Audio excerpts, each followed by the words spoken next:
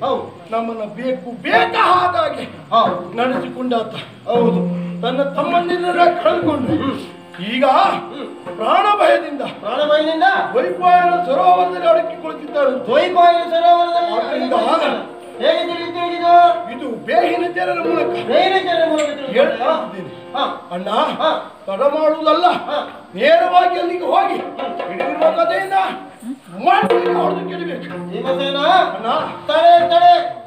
ತಾಳಿಯವ ಬಾಳಿಯಾನು ಎನ್ನುವಂತ ನಾಣ್ಣುಡಿಯನ್ನು ಕೇಳಿರುವೆ ನೀನು? ಹೌದಣ್ಣ. ಆದ್ದರಿಂದ ನಮ್ಮ ಈ ಎಲ್ಲ ಅಭ್ಯುದಯಕ್ಕೆ ಕಾರಣೀಭೂತನೇ ಆ ಶ್ರೀಕೃಷ್ಣ ಪರಮಾತ್ಮ. ಎಲ್ಲ ವಿಚಾರಗಳನ್ನು ಅವನಲ್ಲಿ ಹೇಳಿ ನಾವು ಮಾಡಿ ಮುಂದುವರೆದಿದ್ದೇವೆ?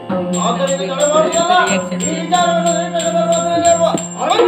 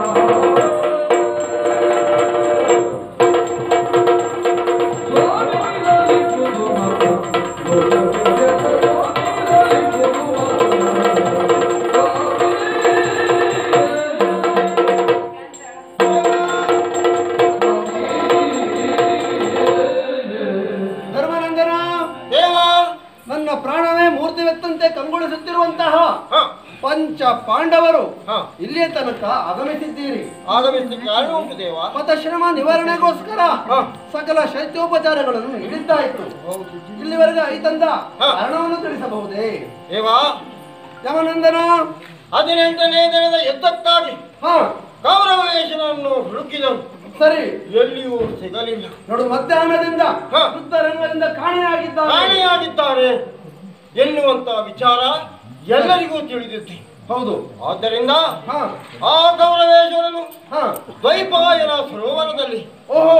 ಅಡಗಿ ಕುಳಿತಿರುವನಂತೆ ಓಹೋ. ಇದು ಭೀಮನಿಂದ ನನಗೆ ತಿಳಿದು ಬಂತು. ಹೌದೇ. ಈ ವಿಚಾರವನ್ನು ತಮ್ಮಲ್ಲಿ ಹಲುವೆ ಓಹೋ. ಮುಂದಿನ ಕ್ರಮಕ್ಕಾಗಿ ನಿಮ್ಮ ಸಲಹೆಯನ್ನು ಕೇಳ್ತಾ ಇದ್ದೇವೆ ಓಹೋ. ಚರದಂತ ಚಕ್ರೇಶ್ವರನೆಂದು. ಸ್ವಯಂ ಘೋಷಿಸಿಕೊಂಡಂತಹ ಹ. ಇಂದು ಮತ್ಸ್ಯಗಳೋಪಾದಿಯಲ್ಲಿ ಜಲದಲ್ಲಿ ಅಡಗಿದ್ದಾನೆ. ಹ. ಈ ವಿಚಾರವನ್ನು ತಿಳಿದಾಕ್ಷಣ ಹೋಗಿ ಆತನನ್ನು ಒಲಿಸಬೇಕಿತ್ತು ದೇವಾ. ಅದನ್ನು ಬಿಟ್ಟು. ಇಲ್ಲಿಯವರೆಗೆ ಐತಂದಿರಿ. ಯಾಕಯ್ಯ? ದೇವಾ. ಸರೋವರದಲ್ಲಿ ಜಲಚರದಂತೆ ಅಡಗಿರುವವನನ್ನು ಹ. ರಣರಂಗಕ್ಕೆ ಬೆನ್ನಿಕ್ಕಿ ಹೇಳಿಯಂತೆ ಓಡುವವನನ್ನು ಸರಿ. ಹುಲ್ಲು ಕಟ್ಟಿ ಕಟ್ಟಿಕೊಂಡವನನ್ನು ಸರಿ ಕೊಲ್ಲುವುದು ಅಪರಾಧವಲ್ಲವೇ ಸ್ವಾಮಿ? ಓಹೋ. ಅಂತಹ ಜಿಜ್ಞಾಸನನ್ನೇ ಇಲ್ಲಿ ಕಾಡ್ತಾ ಇದೆ. ಓಹೋ. ಧರ್ಮ ಜಿಜ್ಞಾಸ ಧರ್ಮ ಜಿಜ್ಞಾಸ ಕಾಡ್ತಾ ಇದೆ.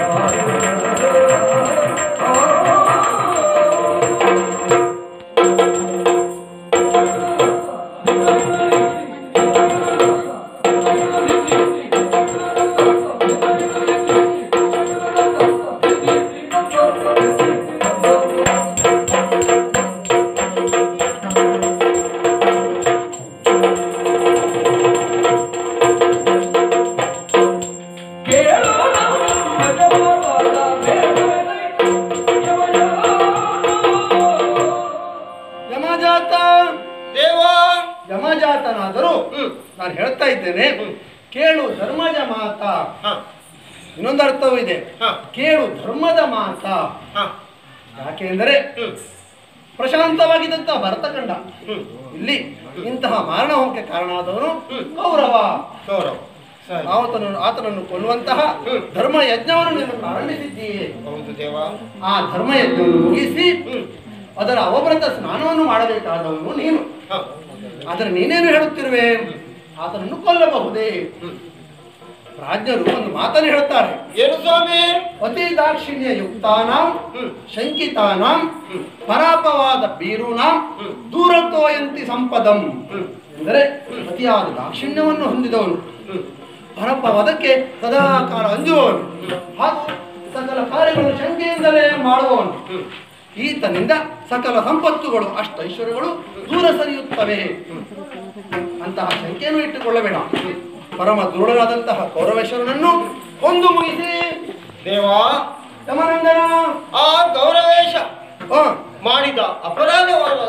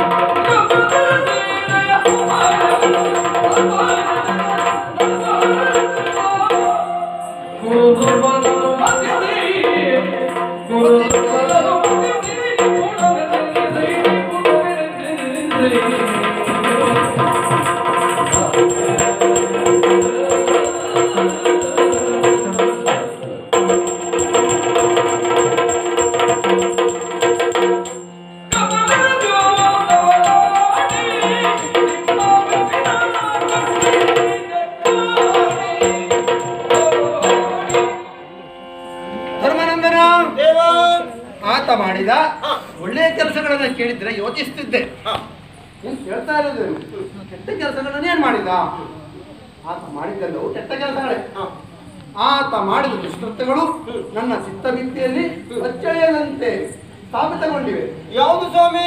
ಒಂದೊಂದಾಗಿ ಹೇಳ್ತಾರೆ ಕೇಳು. ಬಾಲ್ಯದ ವಿಚಾರ ತೆಗೆದುಕೊಳ್ಳೋಣ. ಹಸ್ತಿನೆಯ ಅರಮನೆಯಲ್ಲಿ ನೀವೆಲ್ಲರೂ ಬಾಲ್ಯದ ಮುಗ್ಧತೆಯೊಂದಿಗೆ ಆಟವಾಡುತ್ತಿರುವಾಗ ಈ ದುರ್ಯೋಧನ ಏನು ಮಾಡಿದ? ವಿಷದ ಲಡ್ಡುಗೆಯನ್ನು ನಮ್ಮ ಭೀಮಸೇನಿಗೆ ಇಕ್ಕಿದ. ಹೌದು ಸ್ವಾಮಿ. ಈ ವಿಷದ ಲಡ್ಡುಗೆಯನ್ನು ಇಕ್ಕಿದನಲ್ಲ? ಈ ಬಗ್ಗೆ ನನಗನ್ನಿಸುವುದು ಕೌರವನಿಗೆ ಪಶ್ಚಾತ್ತಾಪವಿದೆ ಏನಂತ ಪಶ್ಚಾತ್ತಾಪ? ಇಟ್ಟ ವಿಷದ ಲಡ್ಡುಗೆ ಕಡಿಮೆ ಆಯ್ತಲ್ಲ? ಭೀಮ ಸಾಯ್ಲೇ ಇಲ್ವಲ್ಲ? ಅಷ್ಟು ದುಷ್ಟ ಆತ. ಅಲ್ಲಿಗೆ ಮುಗಿಯಲಿಲ್ಲ. ಹೊರಗಿನ ಅರಮನೆಗೆ ಬೆಂಕಿಯನ್ನು ಇಟ್ಟ. ಅಲ್ಲಿಗೂ ಮುಗಿಯಲಿಲ್ಲ ಈತನ ಕಾರಸ್ಥಾನ. ಹ, ಕಪಟದ ಜೂತವನ್ನ ಜೂತಕ್ಕಾಗಿ ನಮ್ಮನ್ನು ಕರೆದ.